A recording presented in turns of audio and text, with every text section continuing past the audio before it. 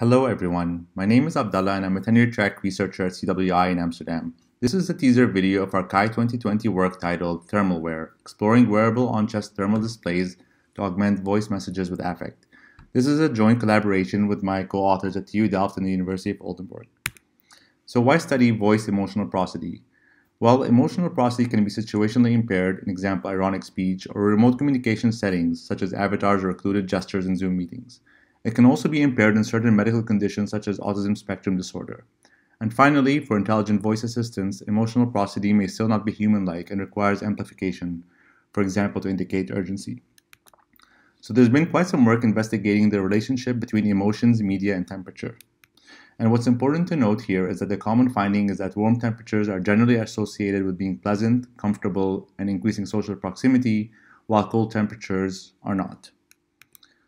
So in this work, we draw on the bodily map of emotion by Nummenmaa et al. and overlay three of Zeagler's wearability body maps, and we find that the upper chest is a suitable thermal stimulation site. In this work, we contribute ThermalWear, which is a wearable prototype that thermally stimulates the upper chest, and empirical findings that show that neutral voice messages can be effectively augmented with affect.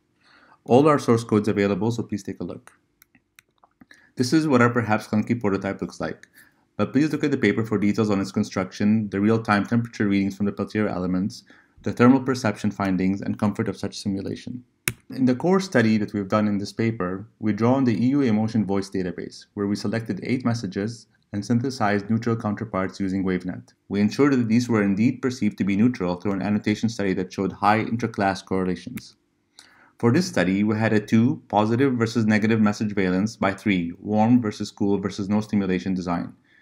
After experiencing the stimuli and voice message simultaneously, participants entered their valence and arousal ratings through a 9-point self-assessment manikin scale on an Android app.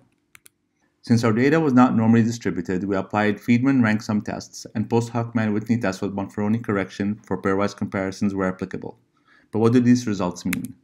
First, thermal stimulation influences valence of a neutrally spoken voice message. But this, however, varies across cool and warm stimuli.